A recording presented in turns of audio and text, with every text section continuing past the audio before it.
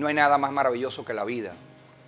La vida hay que protegerla, hay que defenderla, amarla.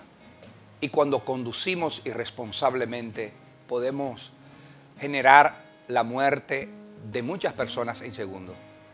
Actuemos con responsabilidad, actuemos con prudencia, respetando las leyes de tránsito, las señales de tránsito, la luz en rojo, jamás cruzarla pensando que nadie nos está mirando.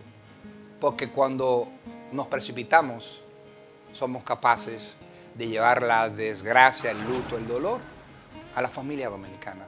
Respetemos las señales y la vida de la gente. Gobierno de la República Dominicana, con la gente, para la gente.